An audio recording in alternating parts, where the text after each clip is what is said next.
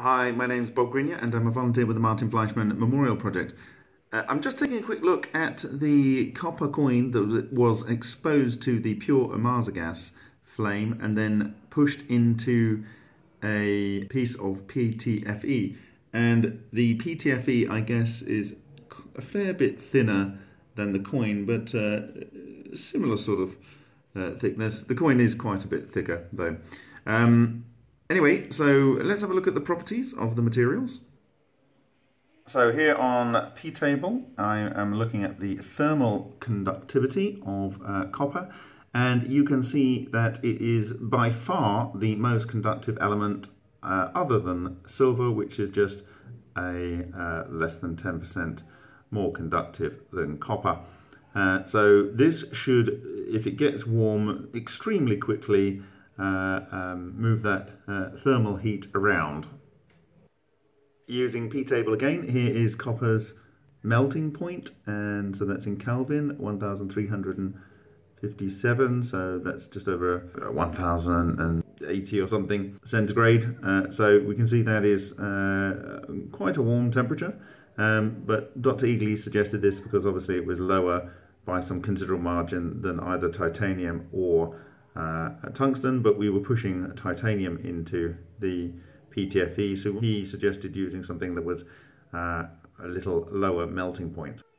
Now this is the melting point of polytetrafluoroethylene at 326.8 degrees C, so very much uh, lower melting point than um, the copper. However, it also has a very uh, much lower uh, thermal conductivity of 0.25 watts uh, per mk. And going back to the thermal conductivity of copper, it has 400 watts uh, per mk. So uh, 0.25 as opposed to 400, so that's like four times, it's, it's 1600 times better at conducting uh, heat uh, than PTFE. Okay.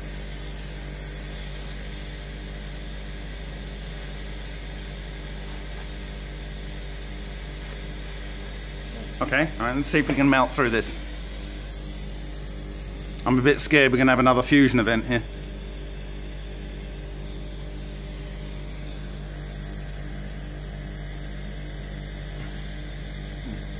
I really should have gloves on or something. Okay. So here is the microscope image of the uh, affected edge of the coin. And something that really, really struck out to me um, very, very clearly. The first is that this is the uh, piece of the coin that was uh, squashed into the PTFE. And you see it's uh, uh, like plastically deformed, but it's kind of like a slightly malleable, mushy rubber sheet because you can see that the the number one is actually it's, it's still got the displacement it has down here it's slightly softened a bit but it, it's moved over and kind of been displaced up but that's not the really curious thing for me, is, is that it has this kind of really strong circular boundary here. There's a little bit of fall off, and this is the plasticized area here. So there's a plasticized area here, and then there is a little bit of a boundary here, and then there's this kind of hard line.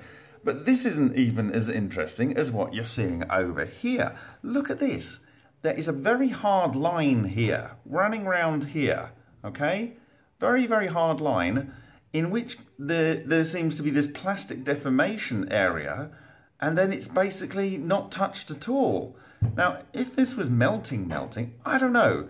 I would have suggested that the, the fall off would be very smooth. You wouldn't get this incredibly hard line with something that's nearly the most con thermally conductive element there is by far. Um, and then the very interesting thing, even more than that, is this hole. This hole is like, it, it's almost like the material completely disappeared and it's cut. You can see the uh, structure of the um, sort of the original sort of pressing, pressing of the coin uh, with these leaves coming here and they just get to this point and it stops. They're just cut out. Um, I don't know. I would have imagined if this was hot enough to basically remove this bit of the coin, um, that, that there would be some kind of change in the form at the point that this this is basically chopped off. It's like it's literally cut it. And, and the interesting thing is that this area goes round and it follows this line all the way around here. And this is the, the, the plasticized area. Um, very interesting. Uh, I, you know, maybe people can find examples of where copper does this and it, it, it's rubberized here and the, in this area with this strong demarcation line. But over here, it basically disappeared. It absolutely disappeared. Now, uh, last image I'll show you here is where you can see the comparison between uh, what happened to the um, uh, copper uh, in comparison to the piece of the PTFE that was displaced. Now, I will say that the PTFE is uh, a fair bit thinner, but not much, much thinner. Um, but uh, as this was like 90 degrees and coming down and pushing down on this, um, it, it kind of removed this. I mean, it doesn't, it doesn't look like, um, you know, the, the, the material that was here is like bulging out. It's just basically gone. I mean, it, it's vaporized or it's gone. Is you know, there's a there's a cut line and it's not there anymore and it's not deposited on here. Um, but uh, the interesting thing is, is that the pressure, if you follow this line around here, seems to have almost displaced this copper, which is a very much higher temperature, as as much as the material that's been eaten out here. I don't know how much you can read into that. But um, the more interesting thing I, am thinking that I'm seeing here than than the actual interplay between the two, this was so much being so much hotter uh, than this, um, is this. It's just this, the fact that you have this hard, hard line in this circle here, hard line, where it's like uh, plastic on one side and um, you know, not plastic and so on, but even where it's plastic, it keeps the embossing over the surface. You know, maybe this is how copper works, you know, I don't know. Um, but it is increasingly bizarre where you just have this literally cut here. I mean, it's like this is not molten even slightly or, you know, uh, perhaps, you know, I'm just naive. Um, I'd like some people that have worked with copper maybe uh, before that can tell me that, you know, copper being the second by far the most thermally conductive element there is, it has an extremely hard line between where it's, you know, soft enough to be moved and, and, and not soft enough. Maybe, maybe that's how it works. But why would it disappear here? I mean, uh, maybe maybe this melted and it just kind of like accumulated over here. Uh, maybe that's what's going on. So get your thinking caps on. Um, but uh, th there it is, and it, you know, was this was this removed or did it come over here?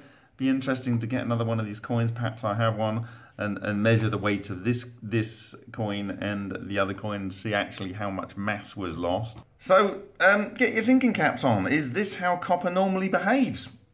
You know, eh, I guess I could get another a piece of copper and uh, uh, heat it up with a normal gas jet and see what happens when I get it to a point that it's, uh, you know, glowing or plastic and uh, at least glowing uh, and then try and push it into the PTFE again and see what see what happens with a normal gas jet and then look at it again under the microscope and see if we see a very very hard line where it's there and it's not there. Is this the normal way that copper behaves? Uh, let me know. Um, or is there anything interesting going on here? Uh, in a later video, I will go in closer to see and uh, reveal if there's any other interesting things going on. Thank you for your time.